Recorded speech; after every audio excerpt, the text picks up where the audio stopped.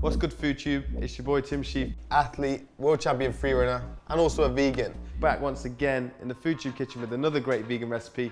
This time, it's the kebab. It's my vegan koftas, packed full of Middle Eastern flavors, chickpeas, coriander, garlic and the ginger, with a yogurt minty sauce and a peanut dip. For me, the best vegan dishes aren't about replacing the meat, but combining the right ingredients with the right flavors. I'm gonna show you how. We're gonna start things off by toasting your seeds, cumin and coriander. Teaspoon of each.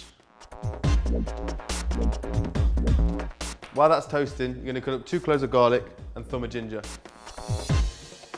Just use a teaspoon, scrape off the skin, save wastage.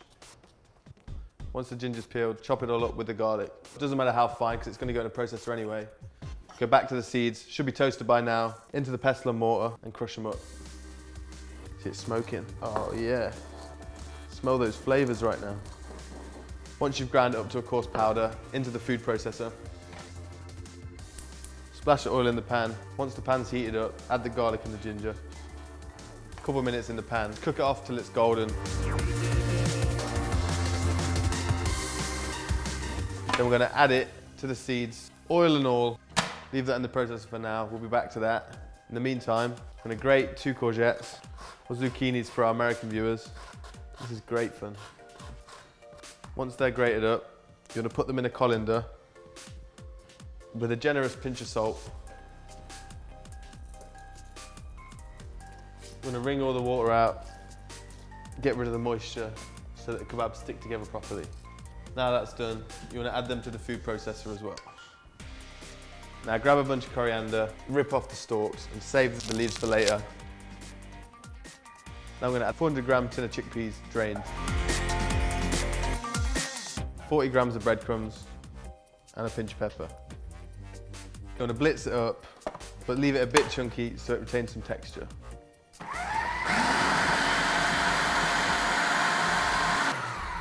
There we have it, looking great. You got your mix ready. You wanna wet your hands so the mix doesn't stick. Take a spoon. You wanna make it into a fat little finger. You wanna make eight koftas out of this. You're gonna crack on with the others.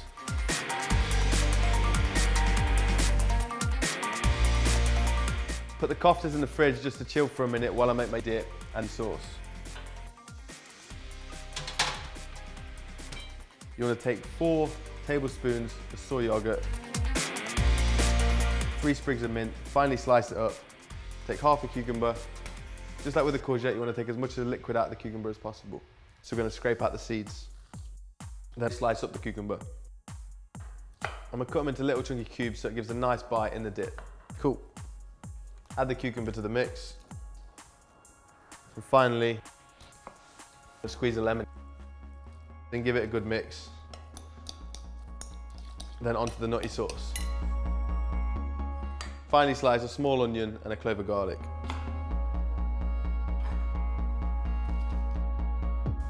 Put them in a pan, drizzle of oil. Once they've been sizzling in the pan for a couple of minutes, you want to add 100 grams of cashew nuts.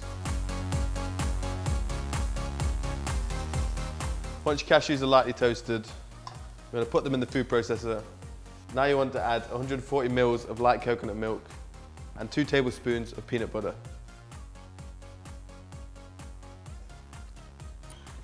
Then you're going to blitz it till it's creamy.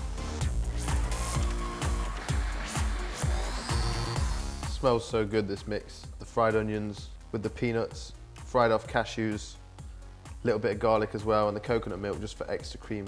Pour this mix into a bowl and grab your koftas out the fridge. They're nice and set, ready to fry off. Gonna put them in the pan.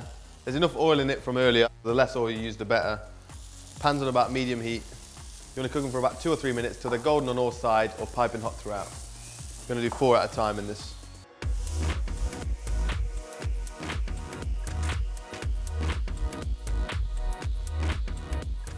So, koftas are done. I've had some pittas warming up in the oven already.